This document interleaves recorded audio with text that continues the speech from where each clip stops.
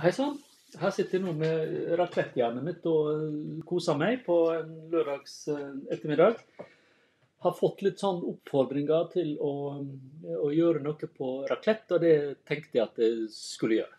Nå har kanskje jeg litt sånn avansert raclette-grill, men, men, det får nå våge seg. Det finnes sånn andre bordmodeller som du på en måte putter inn en skuffe, og så uh, smelter osten. Men det gjør jo som du vil. raclette er jo i utgangspunktet uh, sveitsisk.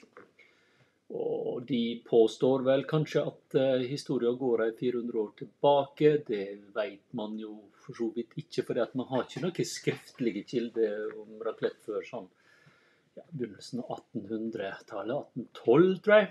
Um, så, og så er det vel med det liksom sånn som en del annet at uh, det har vært, og så har det dødd litt, og så har det blitt uh, gjenoppliva. Uh, så skal jeg bare berge litt her, så det er liksom ikke alt uh, tar fyr. Jeg kan gjøre litt sånn. Um, så ja.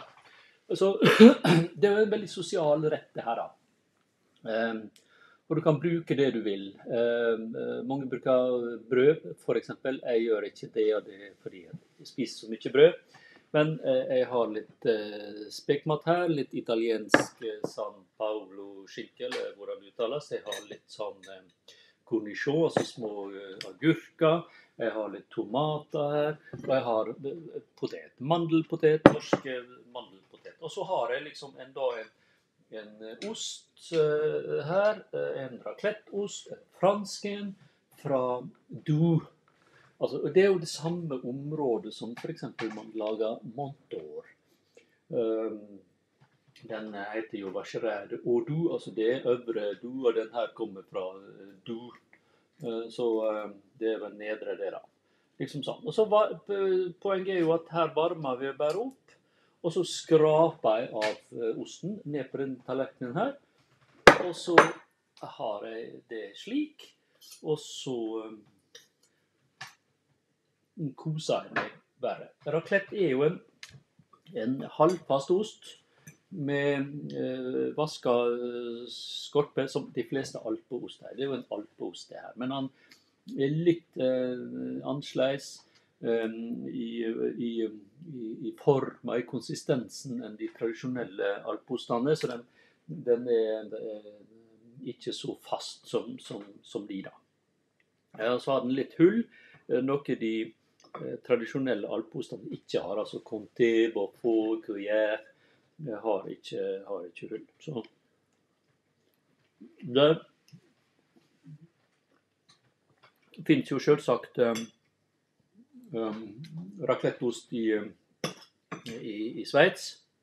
Um, kanskje mer men, enn i, i, Frankrike. Men det som er viktig, er det, det fins racletteoster både i Frankrike, Sveits og Italia på, rundt det området der rundt Alpene. Så det kan man jo bruke hva man vil. Det viktigste er jo at det smelter godt.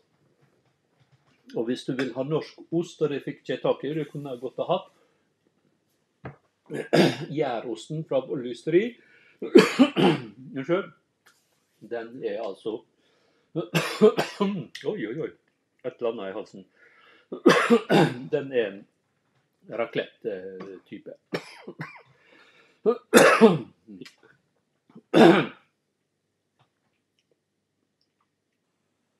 Så det er jo Eh, bare fint å, å kunne ha det, f.eks.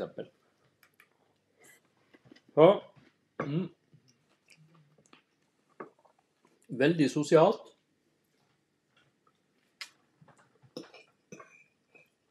Veldig godt. Smelta ost er jo vanvittig godt, da.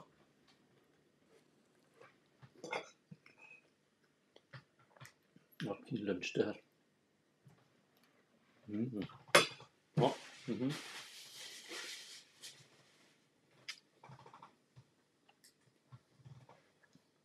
Drikk hvitvin til eh, raclette, og for så vidt fondue også. Eller så blir det bare liggende som en klump i, i magen. Vin på chardonnay. Du kan godt bruke ei, ei eh, sveitsisk hvitvin fra Valais. Men eh, jeg foretrekker en chardonnay, fortrinnsvis fra Jura. Nå er den her akkurat fra Burgund, men eh, normalt så vil jeg foretrekke fra, eh, fra Jura. Iallfall der det er det, det nærmeste, da, for å, å, å si det sånn. Så spis mens det er varmt. Kos dere. Prat. I det hele tatt, bruk det dere har av grønnsaker. Noen bruker sølvløk i tillegg til um, f.eks. sånn um, små agurker. og Det er helt fint. Jeg er ikke så glad i det, så jeg hopper over det. Men, men agurker syns det er fantastisk godt. Gir en fin syre inn i måltøyet. Mm. Ja.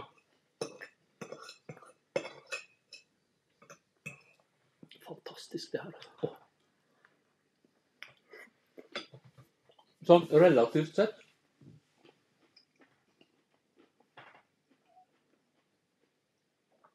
så er altså ikke raclette en dyr ost.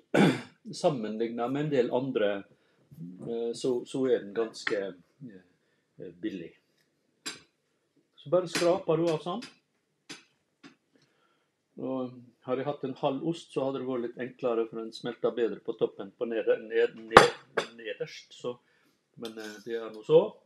Og så fins det jo sånne raclette-kniper som kanskje er litt mer til, bedre tilpassa enn den her.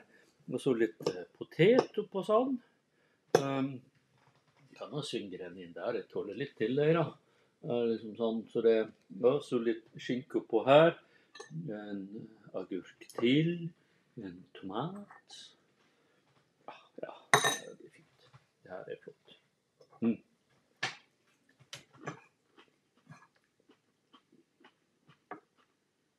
Det er så nydelig.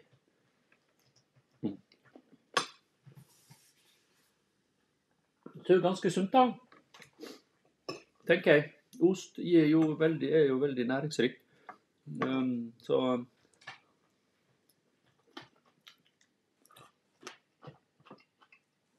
Gir det fett, gir det proteiner.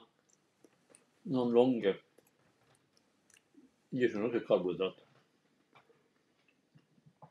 Men du har jo potet her, så da får du det også. Så det er ikke noe å lure på det. Litt skinke her. Mm. Mm. Mm. Og ost. Mm. Det er så digg.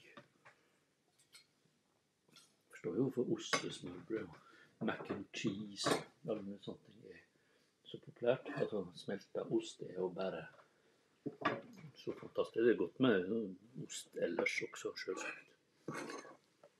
Spiser jo stort sett bare det. Men ja.